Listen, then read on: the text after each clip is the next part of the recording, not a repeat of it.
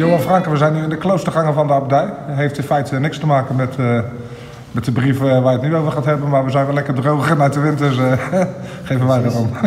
maar vertel eens, wat, wat is de, de, deze brief? Um, het is een, een, brief uit West-Indië van C. Giese. dus laten we maar Cornelis van maken. Um, en die, die, die schrijft aan, aan zijn vrouw. Hij, hij schrijft die brief op 19 november 1780 um, vanuit Curaçao.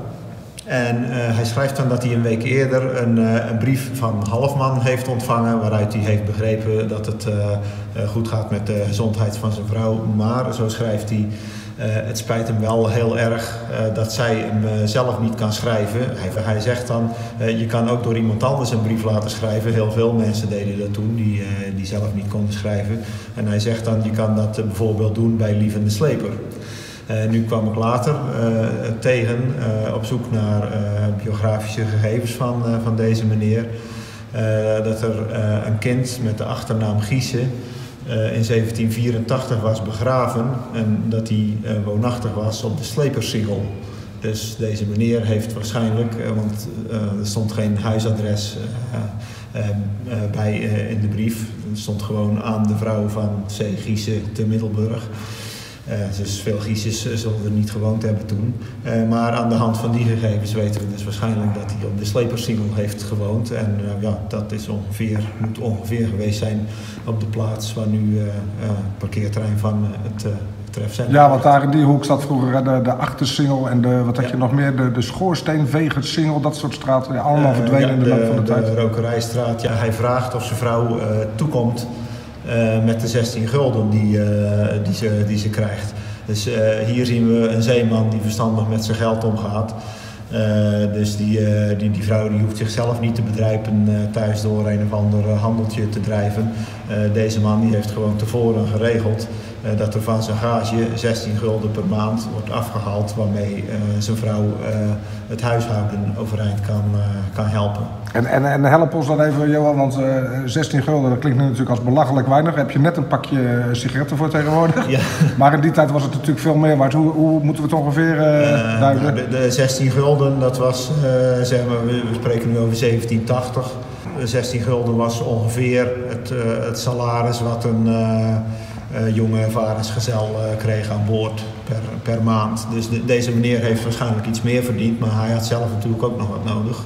Het volgende wat dan uh, interessant is aan deze brief is eigenlijk dat hij zegt uh, dat hij wil stoppen met varen. Uh, want hij, de, de, vaart bevalt hem dus niet. Hij schrijft dan letterlijk Westingen meer schade voor mij als profijt. Um, nou, het, het, blijft een beetje vaag wat hij hiermee bedoelt. Uh, heeft hij te maken met slavenhandel of uh, vaart hij alleen op de West en, en, en bevalt het varen voor dat bedrijf uh, niet? ja, zijn de omstandigheden slecht aan boord? dat weten we niet. Maar wat we hier wel een klein beetje uit op kunnen maken is uh, dat deze man kennelijk een ambachtsman was en uh, niet zomaar een, uh, een, matroos of een gewone opvaarder. Dus wellicht is het een kuiper geweest of een, of, of, een timmerman of iets dergelijks. Want kennelijk geeft hij aan van nou ik had beter aan de wal kunnen blijven, want daar had ik wel gewoon mijn eigen ambacht uit Ik had er vandaag bedoeld.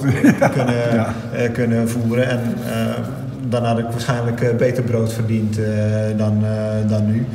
Um, nou, uiteindelijk weten we aan de datering van de brief dat uh, uh, hij zei zelf dat hij spoedig zou vertrekken.